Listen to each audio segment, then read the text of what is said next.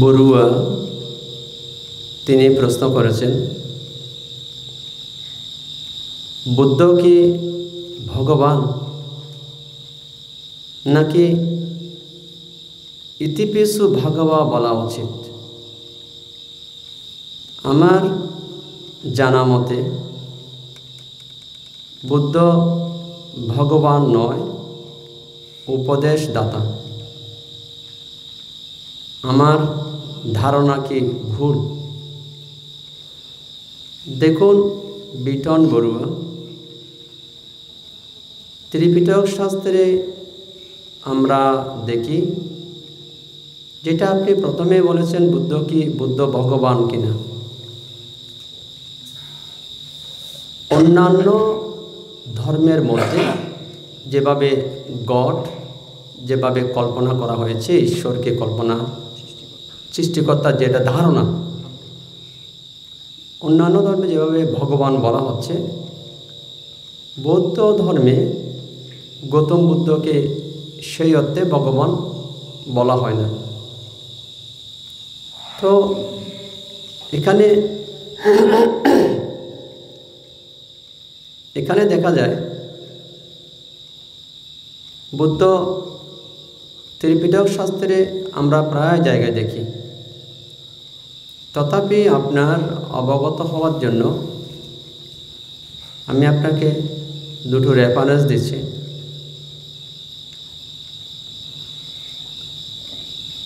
ত্রিপিটক শাস্ত্রে অঙ্গুত্তর নিকায় পঞ্চক নিপাতে প্রথম প্রার্থনা সূত্র এবং সংযুক্ত নিকায় পঞ্চম খণ্ডে প্রথম স্মরণানী সাক্ষ্য সূত্র এই দুই সূত্রের মধ্যে দেখা যাচ্ছে বুদ্ধ কথোপকথন করতে গিয়ে বুদ্ধের নয় গুণ তুলে ধরেছেন। অর্থাৎ নয়টা গুণ বুদ্ধের। বুদ্ধের নয় গুণ তুলে ধরতে গিয়ে বুদ্ধ বললেন ইতিপিসু ভগবা আরাহান সাম্মা সম্বুদ্ধ, বিদ্যা সারানা সম্পন্ন, সুগাত লোকাবিদ, অনুত্তারু পুরিসা ধাম্মা সারতে সত্তা দেবা মানুষানাং বুদ্ধ ভগবাতি এভাবে বুদ্ধের এক একটা গুণ বুদ্ধ বলেছেন যে নবগুণ। তো যেটা প্রথম যেটা বলেছেন আপনি, বিটন বড়ুয়া, ভগবান কিনা। এটা তো আপনাকে বললাম যে অন্যান্য ধর্মে যেভাবে ধারণা করা হয়েছে ভগবানের, সেই অর্থে বুদ্ধকে ভগবান বলা হয় না। বুদ্ধ মানব সন্তান ছিলেন, বুদ্ধ মানব পুত্র ছিলেন। তো এখানে ভগবানের সংজ্ঞা এই অর্থে নেওয়া হয়েছে, বুদ্ধকে এই অর্থে ভগবান বলা হয়েছে। তিনটা জিনিস ভাগ্যা লোবা ভাগ্যা দোষা ভাগ্যা মহাতীতি ভগবান অর্থাৎ এই জগৎ সংসার লোভ দেশ মোহের কারণে এত মারপিট, দাঙ্গা, হাঙ্গামা, কোর্ট, কাচারি, খুনাখুনি, কারাকারি। তো বুদ্ধ সাধনা, ভাবনা করে এই লোক লোককে ভঙ্গ করেছেন। দেশকে ভঙ্গ করেছেন, ছিন্ন ভিন্ন করেছেন, মোহকে ভঙ্গ করেছেন। তো এই লোকদেশ মোহ ভঙ্গ করেছেন বলে এখান থেকে ভগবান, ভাগ্যবান ভগবান। তো ভাগ্যা লোবা ভাগ্যা দেশা বাগ্যা মহাতীতি ভগবান এগুলোকে ভঙ্গ করেছেন বলে ভাগ্যবান আর ভগবান এই অর্থে। এখানে রিপু জয় করেছেন এই অর্থে। তো এবার ধরুন আপনি যেটা বললেন, ইতিপিসু বাগাবা বলা উচিত কিনা? দেখুন, সেটা বুদ্ধের নয়টা গুণের কথা বলা হয়েছে। তো এখানে ওই ভাগবা এই একটা গুণ, ইতিপিসু ভাগবা এই একটা গুণ। এবার যেটা বললেন যে, বুদ্ধ ভগবান নয় বুদ্ধ কেবল উপদেশদাতা। এটা দেখুন, আপনার সংযুক্ত নিকায়, ত্রিপিটক শাস্ত্রে দেখা যায়, সংযুক্ত নিকায় পঞ্চম খণ্ডে একটা রোগী সূত্র আছে। তো পঞ্চম খণ্ডে রোগী সূত্রে বুদ্ধ বললেন, অন্যান্য ধর্মর মধ্যে সবাই বলল যে তুমি আমার স্মরণ গ্রহণ করো, আমি তোমাকে মুক্ত করে দেব। ঠিক না? কিন্তু গৌতম বুদ্ধ সেখানে বুদ্ধ সম্পূর্ণ ভিন্ন মত পোষণ করেছেন। এবং বুদ্ধ সেখানে বললেন, ভিক্ষুগণ, আত্মা দীপু বিহারতা আত্মা সারানা আনাইয়া সারানা। অর্থাৎ বুদ্ধ বললেন, ভিক্ষুগণ, তোমরা নিজের মধ্যে দ্বীপ রচনা করো। যে দ্বীপ তোমরা প্রজ্বলন করে, তোমরা দুঃখ থেকে মুক্ত হতে পারবে। দুঃখ থেকে মুক্তির জন্য নিজের স্মরণ গ্রহণ করো, অন্যের স্মরণ নয়। অন্যজন তোমাকে রাস্তা বলে দেবে, কিন্তু তোমাকে কাঁধে করে মুক্ত করে দেবে না। সেটা হতে পারে না।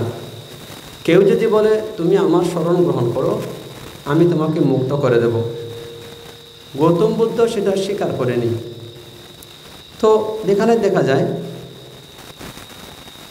দীর্ঘ নিকায় সূত্র পিটকে দীর্ঘ নিকায় সূত্র পিটকের মধ্যে দ্বিতীয় খণ্ডে, দীর্ঘ নিকায় দ্বিতীয় খণ্ডে মহাপরিনির্বাণ একটা সূত্র আছে। তো মহাপরিনির্বাণ সূত্রে বুদ্ধ সেখানে বললেন তোমরা আত্মনির্ভরশীল হও। তোমরা নিজের মধ্যে দিক রচনা করো। অর্থাৎ বুদ্ধ বারবার এটা বলতে চেয়েছি যে তোমরা কায়ে কায়ানুদর্শন দ্বীপ বেদনায় বেদনানুদর্শন, চিত্তে চিত্তানুদর্শন, ধর্মে ধর্মানুদর্শন। অর্থাৎ সম্যক স্মৃতির মধ্যে যেটা কায়া সম্পর্কে, যেটা মানুষের মধ্যে ভুল ধারণা, ব্যক্তি, সত্য, আত্মা জীব, নারী, পুরুষ সম্পর্কে যে ধারণা সেই ধারণা যতদিন থাকবে ততদিন মুক্ত হতে পারবে না। সেটা অন্য স্মরণ। বুদ্ধ বললেন, তোমরা নিজের স্মরণ গ্রহণ করো। নিজের মধ্যে দ্বীপ রচনা করো। এবার দেখা যায় আপনার সূত্র পিটকের মধ্যে ক্ষুদ্রক নিকায় সূত্র পিটকের মধ্যে ক্ষুদ্রক নিকায়ে ধর্মপদে মার্গ বর্গ, মার্গ। তো ধর্মপদে মার্গবর্গে দুইশো ছিয়াত্তর নম্বর শ্লোকের মধ্যে বুদ্ধ বললেন, ভিক্ষুগণ, তুমি কি চাং আতা পাং আক্কা তারু তথাগত। তো বুদ্ধ এটা বল, এটা বোঝাতে চেয়েছেন ভিক্ষুগণ। পথ তোমাদেরকে হাঁটতে হবে। বুদ্ধগণ কেবল মার্গ প্রদর্শন করে দেন। হাঁটতে হবে তোমাদেরকে। যদি কোনো ধর্মগুরু যদি বলে যে, আমি তোমাদের মুক্ত করে দেব, সেটা বুদ্ধ মেনে নেয়নি, সেটা বুদ্ধ স্বীকার করেনি। বুদ্ধ বললেন, সেটা হতে পারে না, ভিক্ষুগণ। তোমাদেরকে হয়তো মার্গ প্রদর্শন করে দিতে পারে। তাই আমি, বুদ্ধগণ, মার্গ প্রদর্শন করে দেবে। হাঁটতে হবে তোমাদেরকে। বুদ্ধগণ, কেবল উপদেশ উপদেশদাতা, মার্গদাতা, কিন্তু হাঁটতে হবে তোমাদেরকে। তো যেমন ধরুন একটা জিনিস। হয়তো এখান থেকে আপনি চিটাং চট্টগ্রাম থেকে যদি এখানে কক্সবাজার থেকে যদি এখানে আসে আপনি কক্সবাজারের মানুষ যদি হয়ে থাকেন আপনি তাকে বলে দিতে পারবেন এখান থেকে এখানে যান এখান থেকে ওখানে যান ওখান থেকে ওখানে যান আপনি কক্সবাজার অমুক জায়গায় আপনি পৌঁছে যাবেন ঠিক বুদ্ধগণ এভাবে মার্গ প্রদর্শন করে দেন তো এ কারণে বুদ্ধগণ অ্যাকচুয়ালি উপদেশদাতা, মার্গ প্রদর্শনকারী। পথ প্রদর্শক, পথ প্রদর্শন করে তাকে। হাঁটতে হবে নিজেদেরকে, নাহলে কেউ কোনোদিন মুক্ত হতে পারে না। এটা সম্ভব নয়, এটা অসম্ভব ব্যাপার। তাই মহাপুরুষগণ কেবল পথ প্রদর্শন করে দেন, মার্গ প্রদর্শন করে দেন, উপদেশ দেন। ওনারা মুক্ত কাউকে করে দিতে পারে না, সেটা সম্ভব নয়।